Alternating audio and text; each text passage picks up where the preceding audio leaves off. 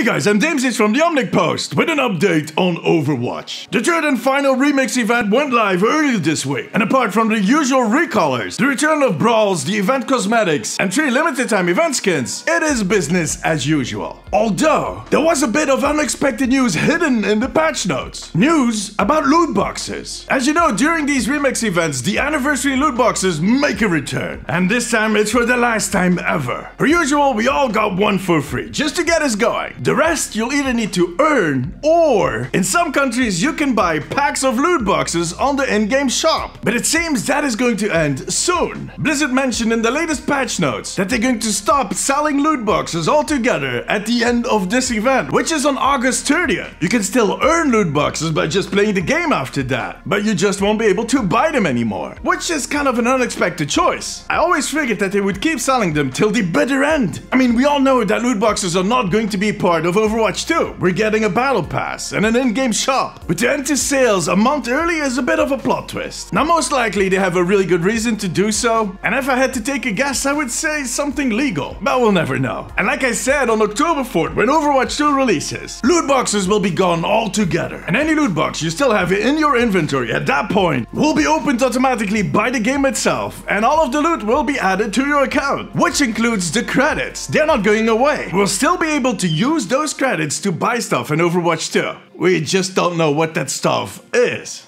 Hmm.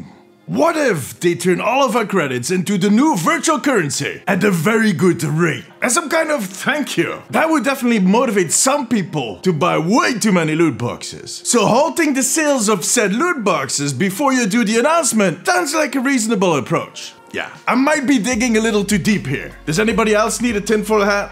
Blizzard said that they will be sharing more info on all of that in the coming weeks. And as I've said many times before, I'm still thinking that that will be just before and during Gamescom at the end of August. I will of course deny saying this in case I should turn out to be wrong. So please don't clip any of this. Thank you.